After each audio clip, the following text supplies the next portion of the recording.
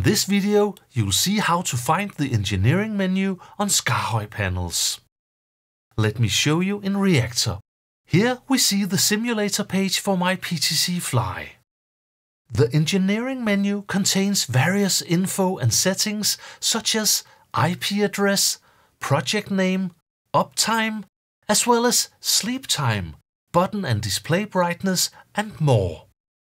On PTZ configurations, you even find settings to invert the joystick.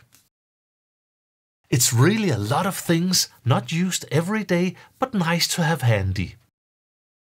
The engineering menu is built into the default configurations you can select on the home page. We have made a lot of default configurations and choosing one is a super easy way to get started. And included in this is the engineering menu. If you make your own custom configuration, then there is no engineering menu. But we hope this video inspires you to make a similar menu. For example, it's always nice to be able to see the IP address. To show the engineering menu, you need to hold a specific button or combination of buttons on the panel. Since we make different panel form factors, there are different ways to do this. Here, I'll show you a few. PTZ Fly and PTZ Extreme.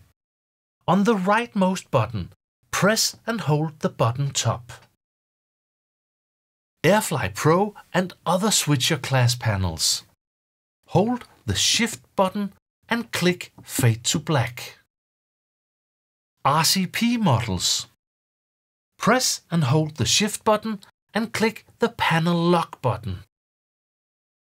We have made a wiki page showing all the different ways of opening the engineering menu. You find this on our website wiki.skaarhoj.com. Here you simply search for engineering. We have also written the full link to the article in the description. Alright, now you know all about the engineering menu. Remember, the engineering menu is part of our default configurations, so you need to use one of these to see it. Please also watch our other how-to videos on reactor setup and configuration. You'll find links to these in the description. Thank you for watching.